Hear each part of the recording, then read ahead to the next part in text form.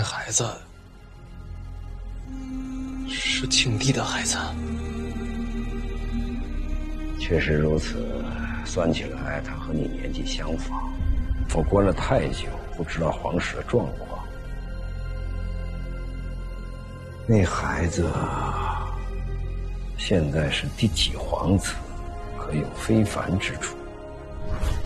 京都不是什么好地方，先帝死在京都，姨娘死在京都，留在儋州，命会长些。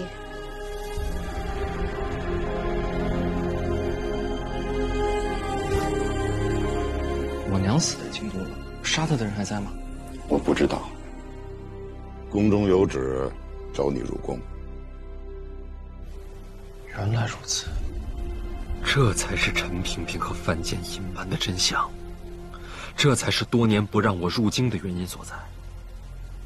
我不是范家子弟，我是庆帝的儿子，我是皇子，我的身体里流着的是他的血脉。朕有些累了，先歇息。你们兄弟三人吃吧。不行就不跪。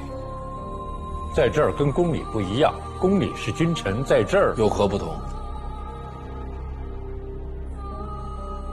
你活着回来。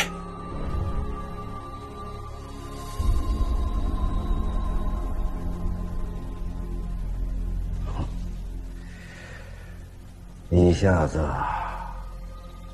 这么多事儿，又突然知道自己的身份，确实很难接受。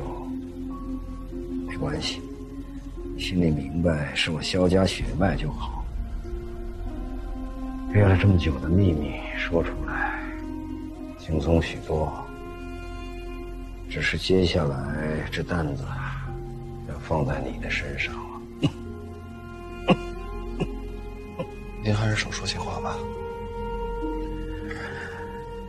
都要死了，有什么区别啊？送你这么横案，活了这么多年，不喜欢。